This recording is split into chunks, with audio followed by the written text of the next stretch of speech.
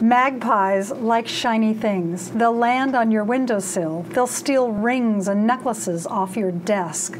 They'll use it to feather their nest. They'll also steal tinsel off your Christmas tree.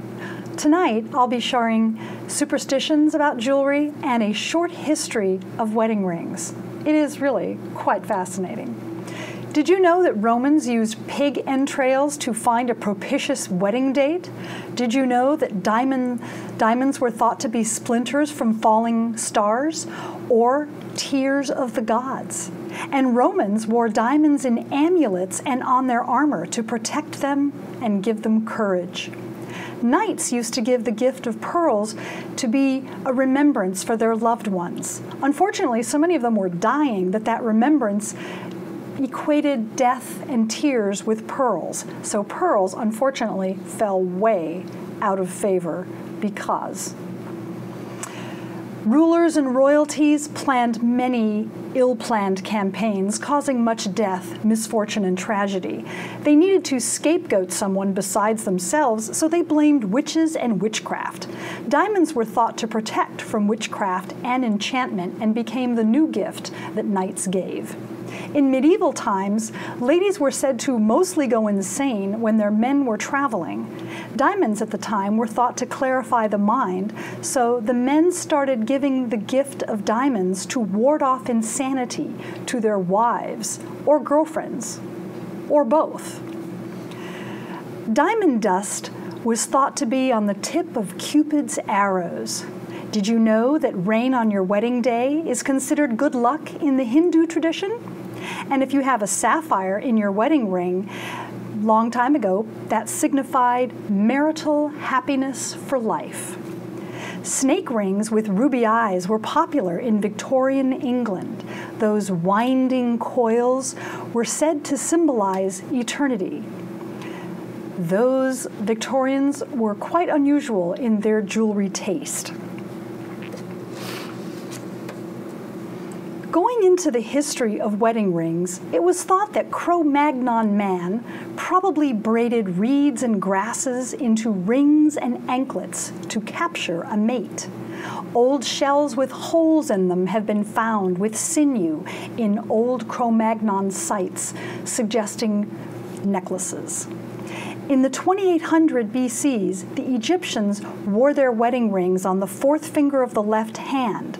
They thought that a vein went straight to the heart. They called it the vena amoris, or vein of love. That started the tradition of wearing wedding rings on that finger.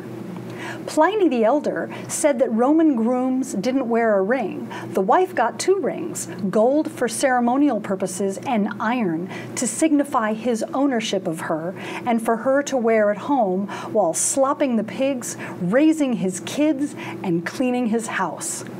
In Asia and Middle East, during that same time, sultans and sheikhs were rich with extra money, and they expressed their wealth by buying more and more girls and women to be their multiple wives.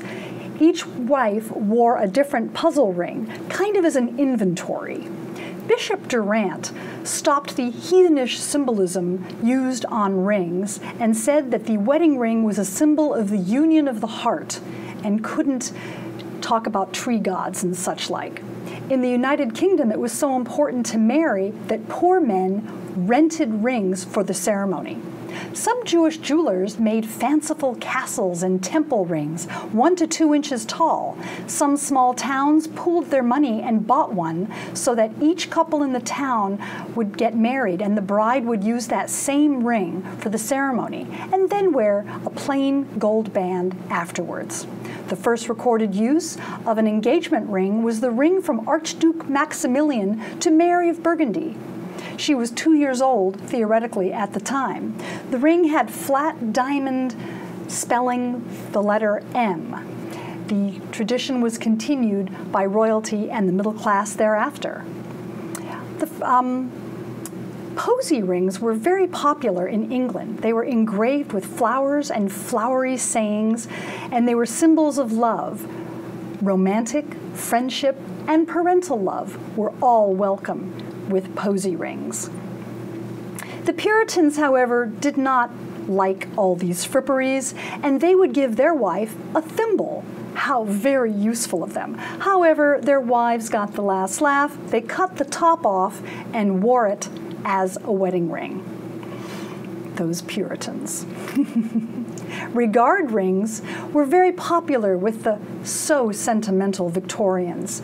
This was a ring where the first letter of each gemstone was used to spell out a word, and the words were always very romantic and full, full of love. Gimel rings were used where the man would wear one half, the woman would wear the other half, and when they got married, he took his off, gave it to her, and there, ever after, she would wear the two rings together for life. The double ring ceremony was popularized during and after World War II. Men really wanted to wear a wedding ring to keep the loneliness at bay and to give them strength and remind them of the love back home. After World War II, 80% of couples married with a his and her double ring ceremony.